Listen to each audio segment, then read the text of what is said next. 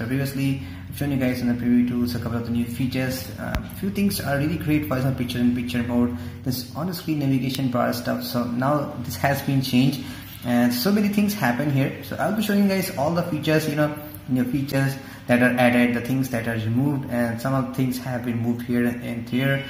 So right now I have installed that on my Google Pixel XL and I have kept this my Nexus 6P on the Preview 2 just to show you guys here the complete differences.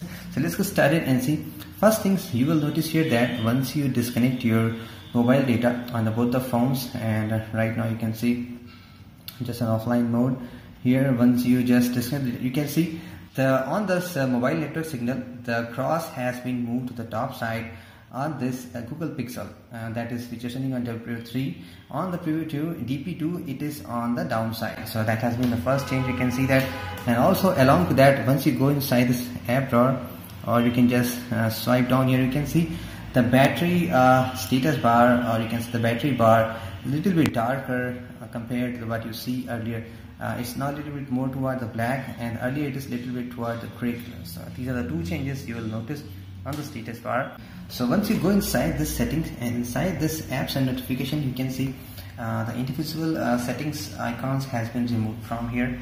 So that is something uh, you know strange here but it looks pretty cool here. So also you go inside this advanced you can see the emergency broadcast section has been added here which was not there on the dev preview also you can see on the special app access it shows you a quick preview here on the dev preview 3 it is not showing you on the dev preview 2 so these things have also been added so once you go inside this battery, just go here to the three dot section, you will see the usage alert option has been removed from the DP3 and it's still there on the DP2 which was uh, not so helpful but that's why I guess you can see there is nothing much informative here. That's why uh, Google has removed that feature here. And also guys do notice here inside this advanced section there is an option of picture in picture. I'll show you guys later why I did mention here. Also guys once you go inside this battery I did notice a strange issue. You can see for example the applications here for I'm just taking here YouTube. So you can see down here uh, you got a new uh, some things are removed from the background activity. It's not like that it's removed from all the places. Also if I just go to Twitter here just to give you an example which application is common on both the places say AnTuTu benchmark and uh, here you can see the background activities added there. So this thing is a little bit strange to me. In few places it is there in few places this is not there if you go to the display section under the settings you can see uh, earlier on the DP2 there was a sleep option which is a screen off time which was removed from this DP3 and now it has been added inside this battery section. Even though it was still there on the battery section but it has been removed from the display just to make you know a single point of activity but we got so used to our going inside the display now in case you have to turn your screen sleep time you need to go inside this battery then you have to find option called sleep now guys let's go inside the display again. So biggest feature that is added this time is called as a night light. You can see now it has been added. You have the option never customize schedule. Sunrise to sunset. Once you say make a sunlight to sunset so it should not turn off. It is turning that on. You can control the intensity. So it's a quite good move here. And also you can just customize the schedule how you want it or you can just make it to turn off. So that's a new feature added here. So I guess that feature also came inside the Android Nougat when it was in the preview build let's go inside the system and I'll show you here. You can see under the backup option on the DP3 now it is showing you as a backup uh, current status. It is turned on. So while it was mixed on the previous one you can see now most of the icons are working here. Preview I mean. So backup was on and other things are also showing. And also you can see uh, now the Android version has been final. Even though we know that it is Android uh, O or Android 8 now you can see on the DP2 it is updated to Android O. Now it is showing you updated to Android 8.8.8.0.0 sorry for that. And also you can see once you go into download section you can see Nexus 6P has an update. OP P3 that means Android O pre-program 3 compiled on 18th May 2017 and you got a size of 334 MB that is megabytes.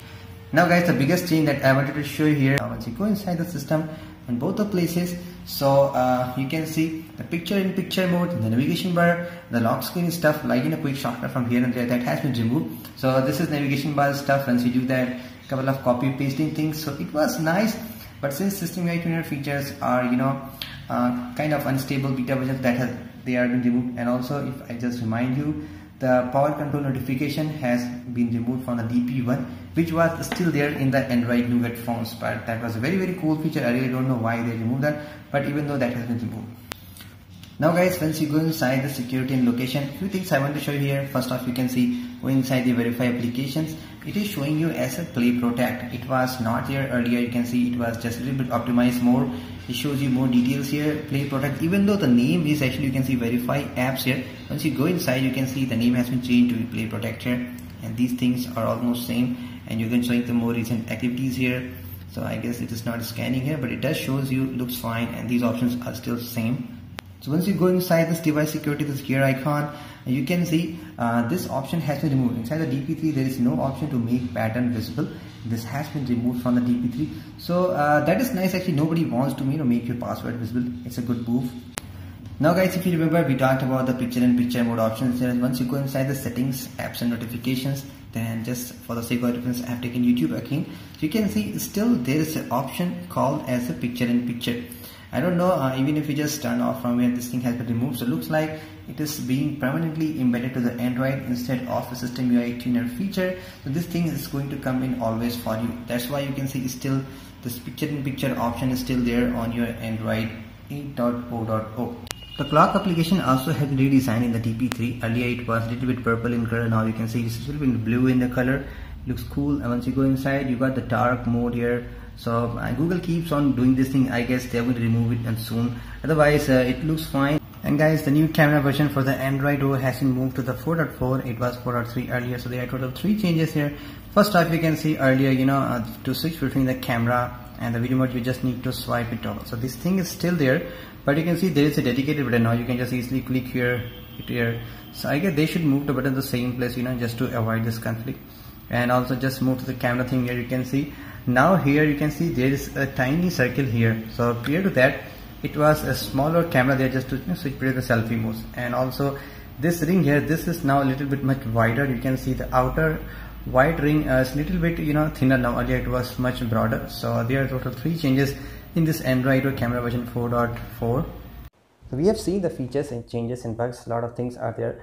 Now let's see guys a quick look on the performance in terms of geek and the antutu but the preview builds always has a lower score you know because these builds are meant for adding features and removing features so company will never focus on you know making the build more performance improvement. When the day it becomes the public the company may you know put on the more effort making the build stable. So most of the times you may find that the scores keeps on decreasing but again guys if you run it again you might get different results always. So do not take this number as a point of you know decision whether you should install the build or not. What matters is really whether your apps are working fine or not your battery is working fine or not whether any other scores or not. So these are the scores we have seen till now. So guys that's been it. These are the features some of the major features you know changes and things that have happened on the android o. So stay tuned guys. If something new major uh, i did found that i will show you guys later. Otherwise this things looks fine. And stay tuned for the channel. Maybe in a couple of days i will give you guys the detailed usage review whether your android o build installed on the pixel and the nexus are working fine or not. So that whether you should be upgrading to the android o Pure 3 or not.